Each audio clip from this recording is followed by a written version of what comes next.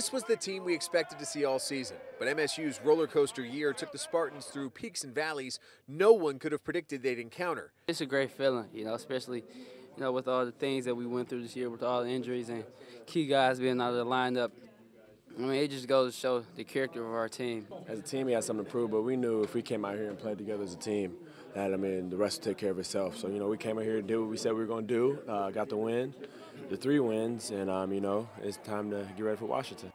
Waiting in Spokane, a date with Delaware, but also a bracket that includes the ACC champ in Virginia, the Big East tournament champ in Providence, the Big 12 tournament champ in Iowa State, and the Big East regular season champ in Villanova.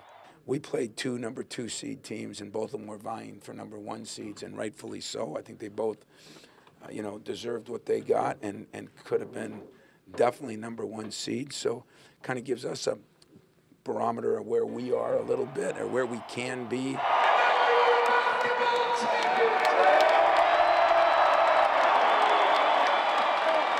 Michigan likely blew the chance they had to claim a one seed with today's loss. You know, we want to win this tournament. We understood if we won, you know, we could possibly be a one seed, but we weren't too concerned about that. We're happy with the two seed.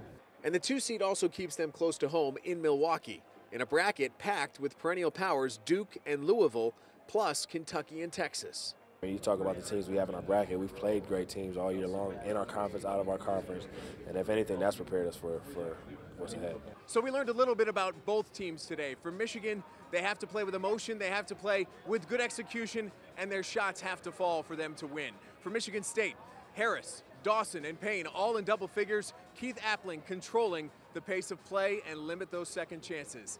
That is their formula for success. And both teams take those formulas to the NCAAs. In Indianapolis, Tom Leyden, 7 Action News.